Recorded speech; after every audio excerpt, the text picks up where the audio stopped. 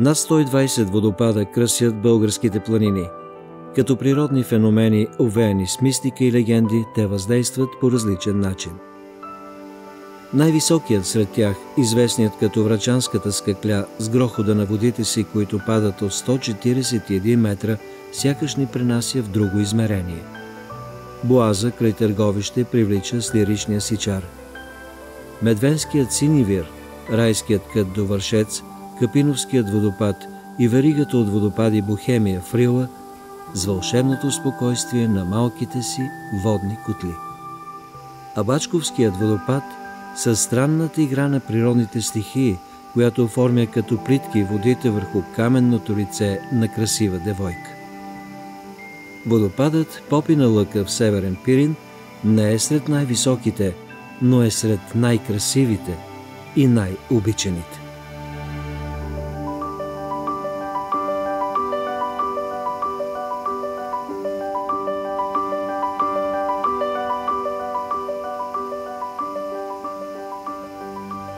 Той има два пада, като по-големият излива водите на река Башлиица от 15 метра.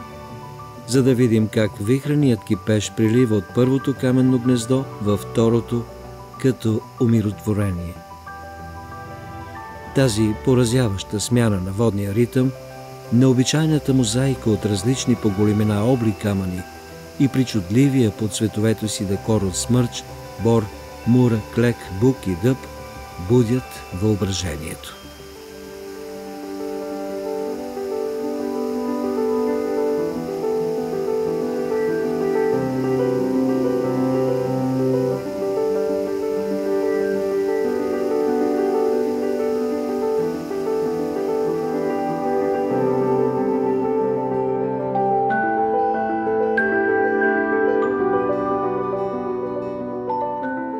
Това ни е най-любимото място на всички от деца. Там израснахме, там живеехме, там на огънен вечерно време си разказвахме приказки, там научихме рока, там научихме музиката, там се научихме да рисуваме. Всички деца израснахме там от Сандански.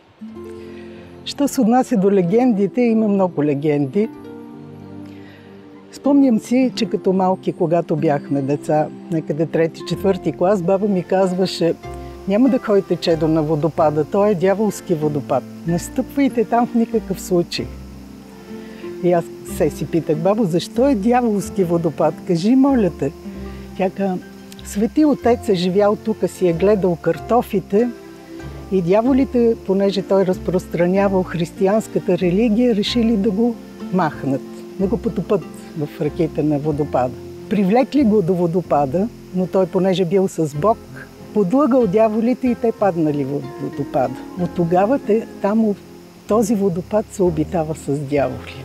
Точно заради това се казва Попина лък. Защото хората са казвали, Свети Отец, вече разбрахте, че става въпрос за Свети Иван Рилски, който има една пещеричка тук, малко под Попина лъка, където е живял издълбана пещера в скалата и на всеки празник там си ходят хората, има едно малко, една малка църквичка. По времето на турско робство, тук в нашия край живеели много се, а, влашки села, които отглеждали животни. Имала една много хубава мома Бистра. Тази Бистра обичала да се къпе на водите на водопада. Но тъй като бил обидаван от дяволите, те я подлъгали точно там да се изкъпи. Минавал Мурат Бей – чието овце гледали горе на спано поле. Като е видял, толкова се прехласнал по нея, че решил да открадне. Слязал долу на водопада и тогава бистра, за да не я вземе турския бей, се хвърлила във водите на водопада.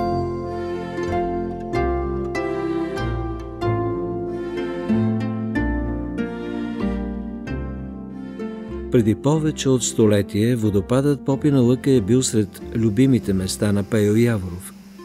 Може би защото неговите най-интимни стихове се родеят с поезията и съвършенството, с които е изпълнен този мъничък свят. Особено в Обичам те, най-личната изповед на поета, който разкрива драматичния сблъсък на устремение към хармония дух с невъзможността този порив да се осъществи в живота. Обичам те.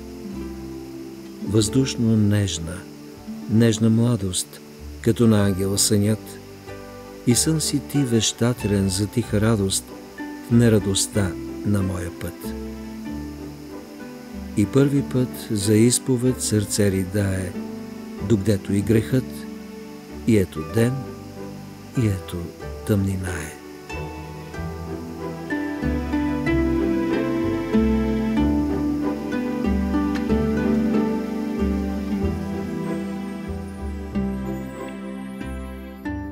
Пей Яворов като голям комита, като един човек поет, винаги се е вдъхновявал от Пирин. Тук започват хайдушките му песни, защото знаете, че там са се провеждали съборите за, за възстанието горе, високо в планината на Спанополе и той, те са минавали през Пирин планина и тук са се родили повечето му песни. Така казват.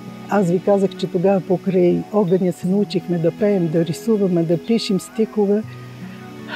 От писателите бих казала Петър Карангов, който много обича Сандански, Катя Арменкова, Христо Георгиев, мисля, че и той има така за попи наука.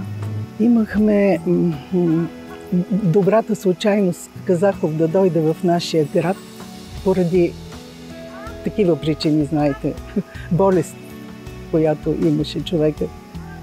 Той прекара може би половината си време на Попина лъка. Там рисуваш. И там ни обедини хората, не само там и в Сандански, естествено, хората като художници. Даде ни вдъхновение. И Александър Тързиев е рисувал там, и Кръстю Тързиев, и Румен Божинов, който има вила, и аз самата имам вила там. И Йордан Попов, той в София живее. Като деца си спомням, че там рисувахме по цял ден водопада, скалите, горите, борбите между децата. Беше прекрасно.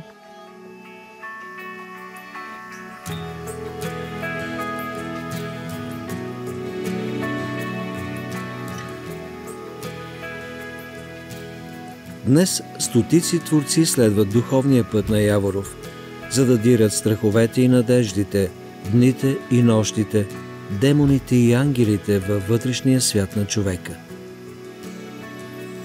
Защото пиринският войвода и поет даде глас, даде образ на едно съвършено природно творение, не в безплътните огледални отражения на красивото. Той ни даде силата, която извира от българската земя.